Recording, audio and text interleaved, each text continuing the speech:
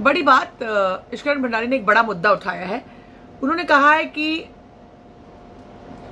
AIIMS के doctor Sudhir Gupta ने सुशांत सिंह राजपूत के परिवार से रिपोर्ट का ज़िक्र नहीं किया, लेकिन सिलेक्टिव मीडिया को रिपोर्ट लीक कर दी। ये पूरी कहानी कहता है, कहानी के नैरेटिव पर शक पैदा करता है कि क्यों आखिर ये किया गया। उन्होंने ये भी कहा, ये उन्होंने नहीं कहा भाई ये समझने की बात है। विकास सिंह परिवार के वकील और सुधीर गुप्ता जिसको जानते हैं, जहाँ नॉर्मल एक बार बयान में आइडिया लेने के लिए विकास सिंह ने तस्वीर दिखाई और उन्होंने तस्वीर देकर कहा था 200 परसेंट ये स्ट्रेंगुलेशन से मर्डर है। तो उन्हीं विकास सिंह को ये रिपोर्ट शेयर नहीं की उन्होंने।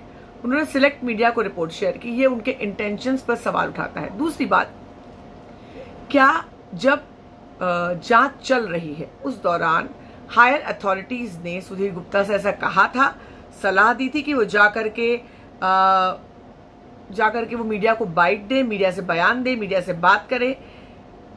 क्या इसका कुछ खास मायने हैं? क्या इसके, क्या ये मायने समझा जाए कि इसका कुछ और मतलब है? इसके अलावा वो तमाम सवाल कि स्कूपर अस्पताल के जिन चीज़ों पर सवाल उठाए गए, उन सवालों के साथ, उन कमियों के साथ जो बॉडी आपने एग्जामिन नहीं की थी, इसकी रिपोर्ट मिली थी, आपने कैसे ये जो है पूरा का पूरा रिपोर्ट लीक किया? ये एक सवाल या निशान उठाता है। इस तरह से तमाम मुद्दे जो है ईश्करण भंडारी ने आज लाइव चैट में आकर उठाए। आप क्या सोचते हैं मुद्दों के बारे में? ज़रूर बताएँ। बने रहे हमारे साथ लगातार।